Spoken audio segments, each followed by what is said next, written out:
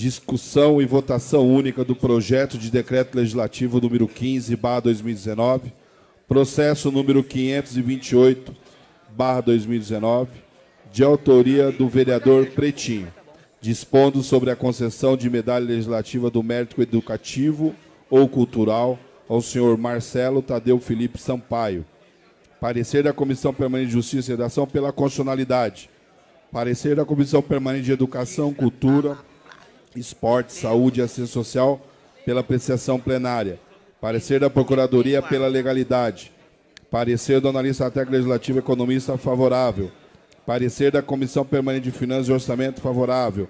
Nos termos do artigo 19 da Lei Orgânica do Município de Diadema, combinado com o artigo 200, parágrafo 1 inciso 4 do Regimento Interno da Câmara, o presente projeto de decreto legislativo será apreciado em uma única discussão e votação e dependerá do voto favorável de dois terços dos membros da Câmara para a sua aprovação. Senhores vereadores, o projeto é meu, de minha autoria. Eu queria fazer um breve pronunciamento, quero fazer daqui mesmo. Uma das prerrogativas da Câmara de Diadema reconhecer entre seus cidadãos os que se destacam por levar o nome da cidade além de suas fronteiras. O cineasta Marcelo Felipe Sampaio, quando produziu de forma independente o filme Eldorado, Mengele, vivo ou morto, cuja história conta sobre os dias de Mengele, médico responsável pelas mais cruéis atrocidades contra seres humanos nos campos de concentração nazista na Alemanha. Marcelo Felipe Sampaio foi indicado para dois festivais internacionais, um nos Estados Unidos e outro na Rússia em 22 de novembro. Nos dois casos, o filme do cineasta diademense ocorre como o melhor documentário internacional. O Eldorado Mengele, vivo ou morto, já faturou o prêmio de melhor documentário no Fest Cine de Pedra Azul, no Espírito Santo, no primeiro semestre deste ano. O projeto está em votação. Os vereadores que forem favoráveis dirão sim, os que forem contrários dirão não. Vereador Dr. Albino. Sim. Vereador Marcos Michels. Sim. Vereador Aldair Leonel. Sim. Vereador Célio Boi. Sim. Vereador Cicinho. Sim. Vereador Boquinha. Sim. Vereador Pastor João Gomes. Sim. Vereador Zé do Bloco. Sim.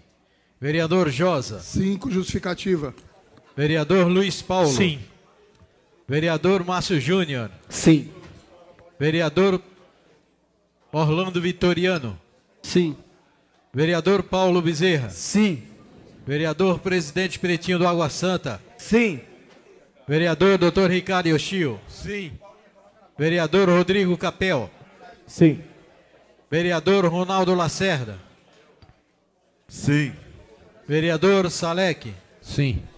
Vereador Sérgio Mano. Sim. Vereador companheiro Sérgio. Sim. Vereador Talabi. Sim.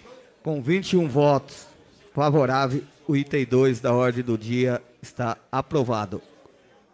Agradeço a todos os vereadores aí, por unanimidade, com justificativa de voto, com três minutos, vereador Josa. Senhor presidente, eu queria parabenizá-lo pela iniciativa e, mais do que parabenizá-lo, parabenizar o Marcelo Tadeu, Felipe Sampaio, que está aqui. Primeiro, pelo reconhecimento que Vossa Excelência fez é, alguém que mora na nossa cidade, que é importante. A gente muitas vezes acaba valorizando muitos de fora e esquece de valorizar os daqui. Segundo, por trazer e abordar um tema que é um tema que muitas vezes a história acaba esquecendo, né? De ficar recordando a todo momento. Estamos falando de alguém que era o Joseph Mengele, que morou, que viveu aqui em Diadema, na região do Eldorado. Alguém que foi da linha de frente de Adolf Hitler, que participou de um dos períodos mais sombrios da nossa história. Período de maior perseguição que nós tivemos, de execução de pessoas, única e exclusivamente por que as pessoas tinham é, na visão deles, né, eram diferentes, né? Então eu queria parabenizá-lo, mas mais do que isso, parabenizar pelo momento, porque tem um simbolismo em relação à censura vivida pela uma parte dos cineastas do nosso país, e aí com o falso discurso de conservadorismo, né? Que só, só se pode produzir com recurso do governo federal, né? Filmes, propagandas, seriados que defendem o conservadorismo, como se esse fosse o único e a única forma de vivência no país e na terra. Essa semana nós tivemos no Supremo Tribunal Federal vários cineastas, artistas, intelectuais, fazendo defesa da liberdade de produção cultural. Que é disso que se trata, independente de qual seja o segmento, qual seja o tema abordado. Nós vivemos num país livre, onde as pessoas e os segmentos têm todo o direito de se manifestar. A gente pode concordar ou não, mas a gente tem que respeitar isso.